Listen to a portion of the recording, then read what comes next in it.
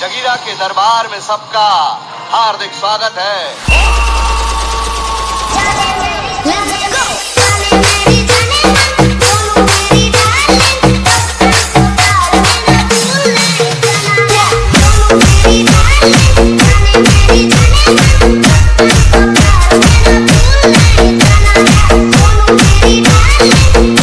Thank you.